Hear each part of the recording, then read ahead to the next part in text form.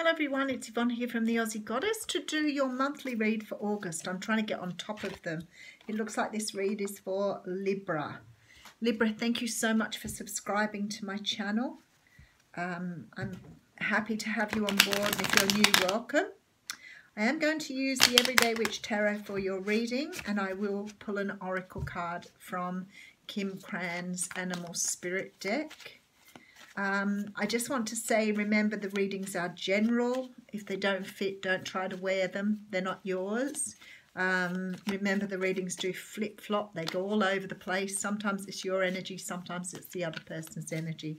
So be sensible. Um, I think that's all I have to say. Okie dokie. All right. Oh, we have the Seven of Wands coming out first. Now, the Seven of Wands, it's a card that talks about standing your ground, being defensive, sticking up for yourself here.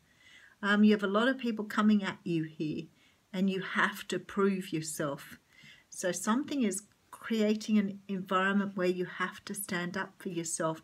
Now, there is the Ace of Cups behind this, so this has something to do with love of something.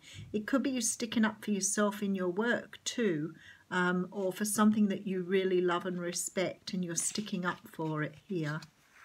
Um, ah, okay, so it could be a person too. So you've got a little bit of a defensive energy towards a King of Cups. Okay, and a new chance with the King of Cups. Yep, waiting for your ships to come in. Okay, this seems to be a very uh, similar story for the Libras here. Um, this is about having a second chance with someone who appears to be a Cancer, Scorpio, or Pisces, a second chance at love. Um, this card here sort of throws me a little bit because I think, why are you trying to defend yourself about this person when they're clearly offering you love here?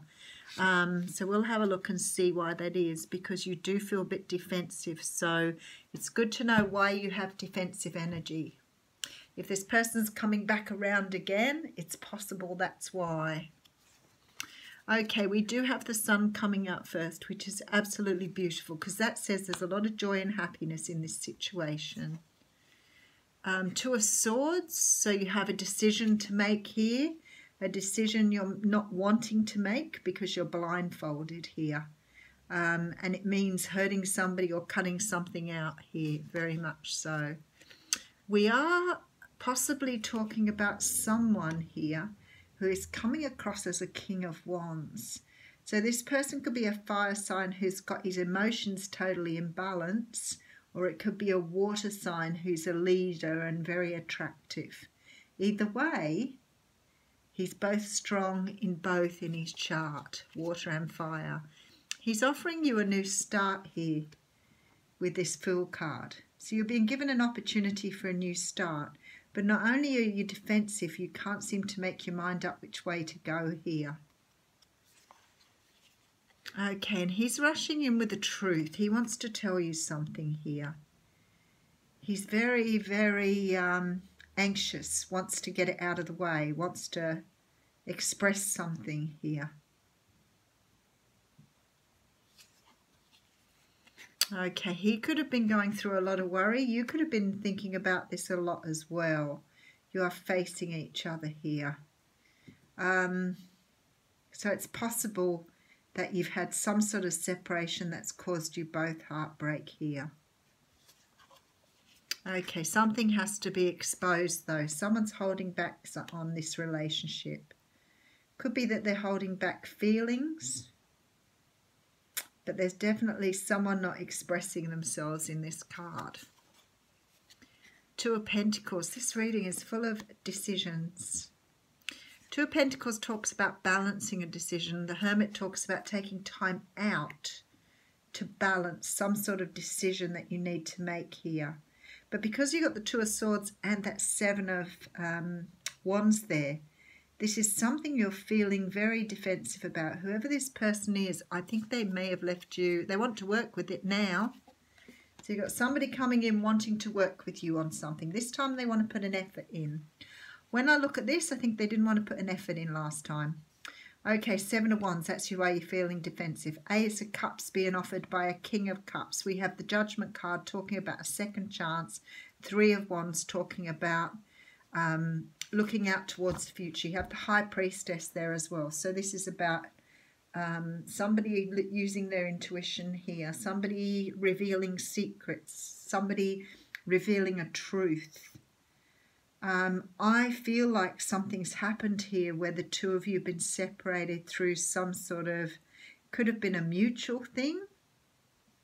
Could have been one person's walked away from the other person because they weren't being honest with them, weren't owning up to something, weren't owning something. This person's now coming back because they want to work on something they didn't want to work on before or they couldn't work on before. They may not have told you why that was by the look of things because you're being very defensive here as to whether you cut this person out and leave them behind. I feel there's some sort of apology here and you're balancing out whether to give this person a second chance or not. They want to take a leap of faith they're very confident that they can make this work this time. You're not so sure. Now remember the reading can flip-flop here.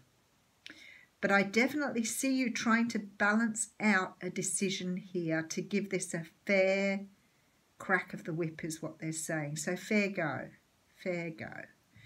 So you're trying to balance out whether it is worth giving this person another chance or not but they are definitely coming in to work on something that they weren't prepared to work on before for whatever reason.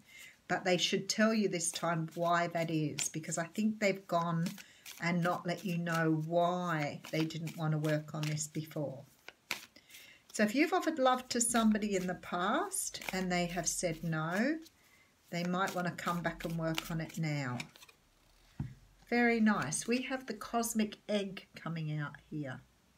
I haven't read this one before and it's down with the spirituality cards at the end. I've seen it. Golden egg. Okay. Black egg, golden egg.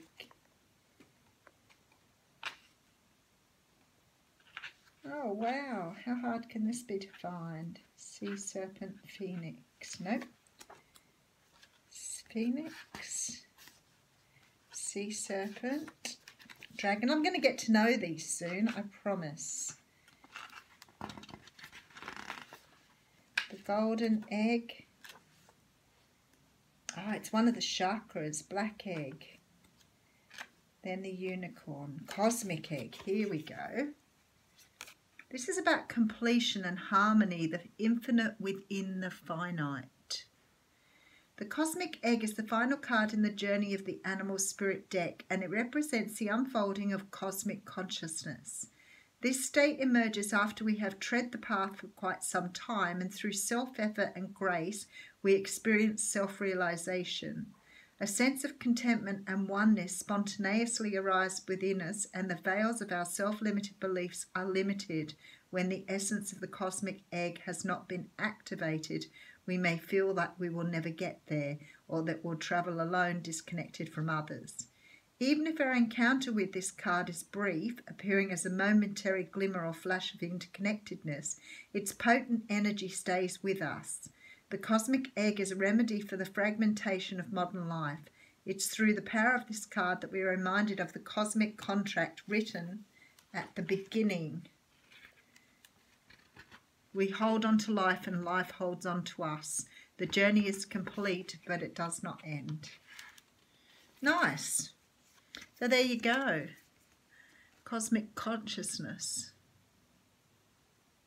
I want to read so much more into that card, but I would be here forever.